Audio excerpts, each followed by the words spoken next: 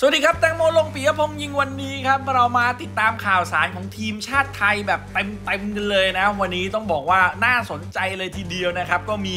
ทั้งข่าวของ U23 ชุดใหญ่นะครับ แล้วก็ชุดเล็กแล้วครับมากันครบแล้วครับ ช่วงนี้เนี่ยใกล้แล้วนะครับที่ทีมชาติไทยจะลงสนามในช่วงการแข่งขันปลายเดือนนี้ครับ จัดหนักจัดเต็มเลยนะครับ แต่ก่อนอื่นเลยอย่าลืมกด subscribe กดกระดิ่งแจ้งเตือนเพราะช่วงทีมชาติเรามาทั้งวันแน่นอนนั่นเองนะครับ อะตอนนี้เนี่ยมาดูกันที่ทีมชาติไทยชุดใหญ่กันก่อนนะครับ ล่าสุดเลยเนี่ยเดี๋ยวจะต้อง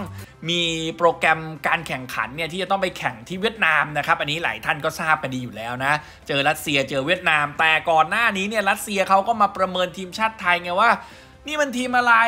นะครับ มันไม่ค่อยรู้จักเลย มันจะได้ประโยชน์อะไรนะครับ เพราะว่าหลังจากทีมชาติรัสเซียเขาก็ไปประกาศบ้านเขาเนี่ยว่า เดี๋ยวจะมาเจอกับเวียดนาม เจอกับไทยที่กรุงฮานอย ก็คาดว่าหลายคนจะตื่นเต้น แต่ในทางกลับกันกลับกลายมีเสียงวิพากษ์วิจารณ์ต่างๆ นานานะครับ จากคนในวงการลูกหนังรัสเซีย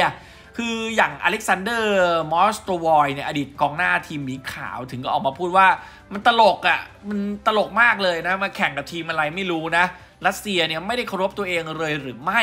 แต่ผมก็มองว่า เฮ้ย คุณพูดอย่างนี้ก็ไม่ถูก ทีมไทยเนี่ยกับทีมเวียดนามเนี่ยบางครั้งบางคราว เราก็สามารถสร้างความแตกต่างได้เช่นเดียวกัน และก็มีกูรูท่านอื่น ๆ นะครับในรัสเซียเนี่ยเขาก็มีมุมมองที่แตกต่างออกไปนะครับสืบเนื่องมาจากเรื่องของปัญหา ที่ทางรัสเซียเนี่ยยังถูกแบนอยู่นะครับถูกแบนไม่เท่าไหร่นะครับก็ปัญหาในการสู้รบต่างๆเนี่ยนะครับทำให้เขาเนี่ยจะอุ่นเครื่องกับใครมันก็ยากนะครับ ด้วยการตัดสินใจครั้งนี้เนี่ยนะครับทำให้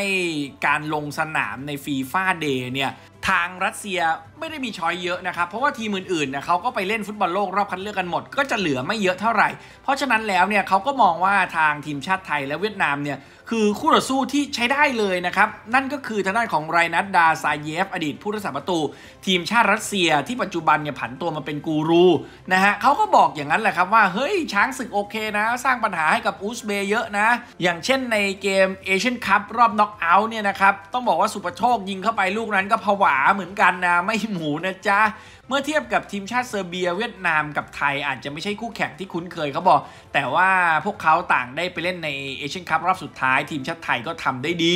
นะครับ หลายๆ ทีมก็ทำได้ดีอะดาซาเยฟก็ว่าอย่างนั้นนะครับ แต่ผมบอกได้เลยครับว่าการเจอรัสเซียเนี่ยเราได้ประโยชน์เยอะ แล้วก็มาซาทาดาอิชิอิก็จะได้เห็นตัวผู้เล่น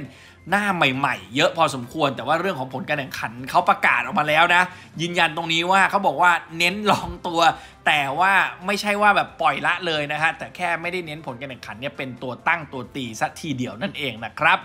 ในขณะที่ต่อเนื่องเลยนะครับ ทีมชาติไทยชุด U23 เนี่ยนะครับ ต้องบอกว่าทางสมาคมกีฬาฟุตบอลแห่งประเทศไทยเนี่ยล่าสุดเนี่ยก็เตรียมพิจารณาเลือกนะครับ หัวหน้าผู้สอนนะครับ เป็นคนญี่ปุ่นเหมือนกัน จะได้เป็นเจแปนเวไปเลยนะครับ เพราะว่าพตุกเนี่ยก็บอกอยู่แล้วนะครับว่าถ้าอย่างนั้นเนี่ยตอนแรกเนี่ยอิชิอิไหม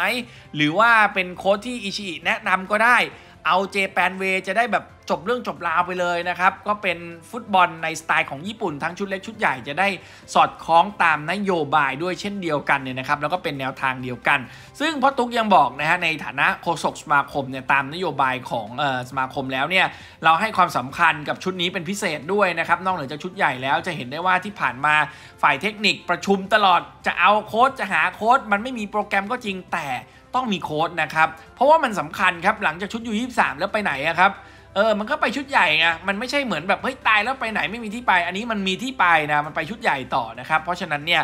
ต้องมองถึงระยะยาว การทำงานร่วมกับนะฮะอิชิอิต้องสอดคล้องกันด้วย เพราะฉะนั้นก็เอาเพื่อนเขาเนี่ยแหละที่เขาแนะนำมาดีที่สุดนะครับ ก่อนหน้านี้ก็พิจารณานะครับหลายต่อหลายคน มันก็ยังไม่มีที่สิ้นสุดนะครับ มันดูแล้วมันก็ยังไม่ใช่ โค้ชที่ใช่ที่สุดอะก็เลยมาคุยกับมาซาทาดาอิชิอิว่าสุดท้ายแล้วเนี่ยคุณจะรับเองไหม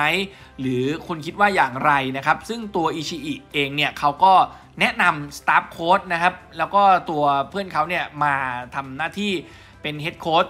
ทีมชาติไทยในรุ่น U23นะครับ พร้อมกับจะดึงโค้ชใหม่รายนี้เนี่ยเดินทางไปเวียดนามด้วยนะ ไปดูฟอร์มนักเตะไทยจะได้รู้จักหน่อยนักเตะไทยเป็นยังไงเนี่ยนะครับ เบื้องต้นนายกสมาคมเขาบอกว่าบรรลุการเจรจาเงื่อนไขกับหัวหน้าผู้สอนรายใหม่ชาวญี่ปุ่นคนนี้เรียบร้อยแล้วนะครับ ก็เหลือเพียงแต่ว่าตอนนี้เนี่ยเดี๋ยวจะเดินทางนะครับมาถึงประเทศไทยในช่วงต้นเดือน กันยาก่อนเดินทางไปกับทีมชุดใหญ่ก็ประมาณนั้นนะครับ แล้วก็จะเข้าแคมป์ฝึกซ้อม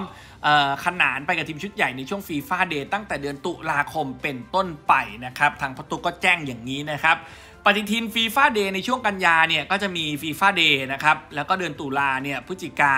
มีนานะครับเป็นฟีฟ่าเดย์หมดเลย มิถุนายนนะครับปีหน้าเข้าสู่การแข่งขันอย่างเป็นทางการของทีมชาติไทยรุ่นอายุไม่เกิน 23 ปี คือชิงแชมป์เอเชีย รอบคัดเลือกเดือนกันยายนนั่นเองอันนี้สำคัญจริง ๆ นะครับขณะเดียวกันนะครับ ทีมชาติไทยในชุด U20 เนี่ย ก็ลงสนามฝึกซ้อมเช่นเคยนะครับ ตอนนี้เดี๋ยวจะมีโปรแกรมแข่งแล้วนะครับ ก็ซ้อมกันที่บุรีรัมย์ครับ ล่าสุดเลยเนี่ย นักเตะก็บอกว่าฟอร์มเนี่ย ตอนนี้พร้อมเต็มร้อย หวังจะไปโชว์ที่เกาหลีใต้ เฮ้ย ไอการแข่งขันครั้งนี้น่าสนใจนะครับทุกคนฮะ เดี๋ยวเขาจะไปแข่งในรายการฟุตบอล4เส้า 2024 Seoul Earth On Us Cup นะครับ